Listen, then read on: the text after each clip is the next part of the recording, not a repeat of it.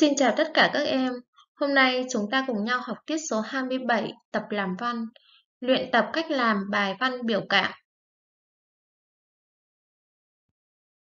Đề bài Loài cây em yêu Một lam mã, bước 1, định hướng. Ở đây chúng ta xác định thứ nhất là chúng ta phải xác định được đối tượng, thứ hai là nội dung và thứ ba là mục đích. Về đối tượng thì chúng ta sẽ chọn một loài cây cụ thể, đó là cây tre. Chúng ta thấy cây tre gắn bó với dân tộc Việt Nam ta từ xưa cho đến bây giờ và đã xuất hiện rất là nhiều trong các tác phẩm văn học. Ở lớp 6 thì chúng ta đã được học văn bản thánh gióng, cũng đã có hình ảnh cây tre, gióng đã nhổ tre để đánh giặc, hay là bài cây tre Việt Nam của nhà văn thép mới.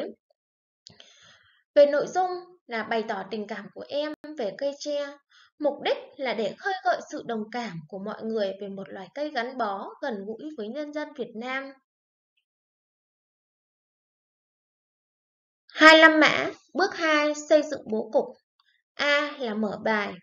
Vậy thì đối với phần mở bài, đầu tiên là chúng ta phải giới thiệu và nêu được cảm nghĩ chung về cây tre. B là thân bài. Một la mã, chúng ta đi vào phần các đặc điểm gợi cảm của cây tre.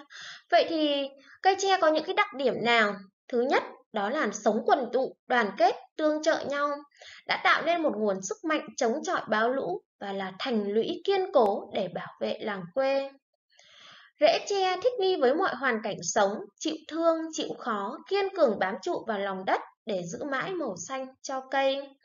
Rồi thì thân tre cao, biểu hiện cho khát vọng vươn lên, đón nắng, gió, Manh áo cộc, che bảo vệ cho con hay là mầm măng trỗi dậy với sức sống mãnh liệt là sự kế thừa, tiếp nối để che mãi trường tồn. Ôi, yêu sao cây tre Việt Nam, ở đây chúng ta có thể dùng những cái từ ngữ biểu cảm để thể hiện tình cảm, cảm xúc đối với cây tre. Ví dụ như là ôi này,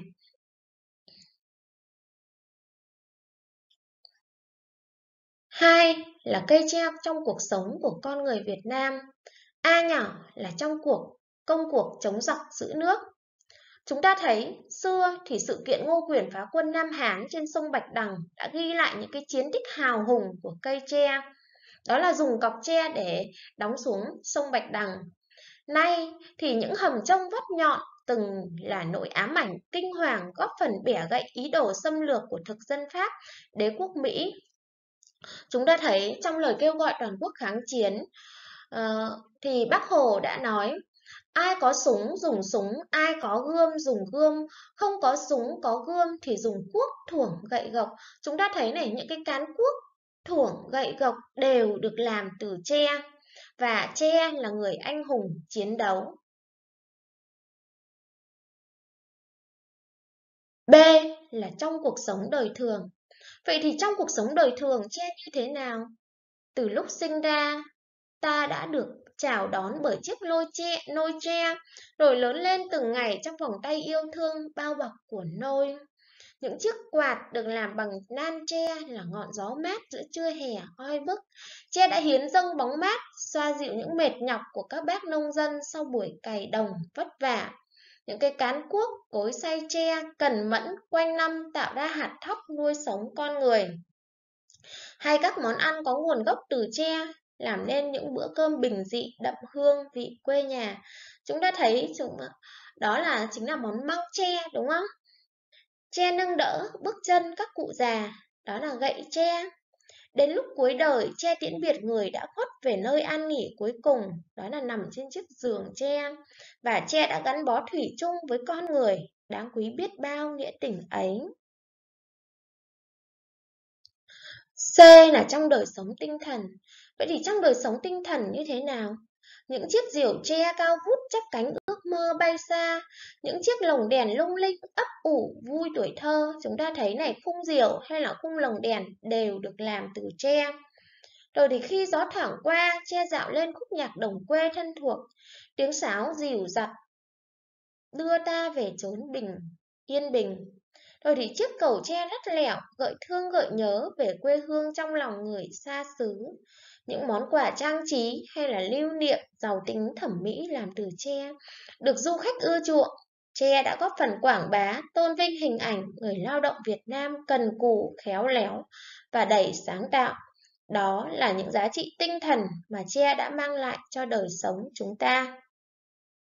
Đó là trong đời sống tinh thần. Ba là cây tre trong công cuộc sống của em. Vậy thì trong cuộc sống, cây tre đã gắn bó với chúng ta như thế nào? Cây tre đã gắn liền với những cái kỷ niệm ấu thơ, bên bà, bên các trò chơi, với chúng bạn. Đó là một tuổi thơ êm đềm, hạnh phúc. Và C là kết bài. Kết bài ở đây thứ nhất là các bạn phải khẳng định được cảm nghĩ về cây tre. Và lưu ý này, các bạn có thể nêu cảm nghĩ về loài cây khác mà các bạn yêu thích. Ở đây là cô chỉ gợi ý cụ thể một loài cây.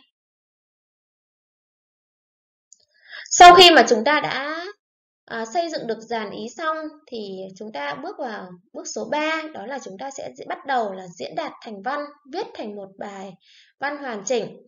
Sau khi mà chúng ta đã viết một bài văn hoàn chỉnh xong thì chúng ta chuyển sang bước số 4 đó là chúng ta đọc lại và sửa chữa những lỗi sai chẳng hạn như chúng ta thấy diễn đạt chưa được hay là lỗi sai về chính tả.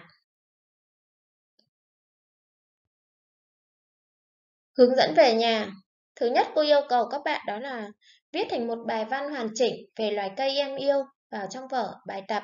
Thứ hai là các bạn đọc và soạn trước bài bánh trôi nước cho tiết học buổi sau. À, cảm ơn các bạn đã theo dõi và lắng nghe. Chúc tất cả các bạn học tập thật tốt.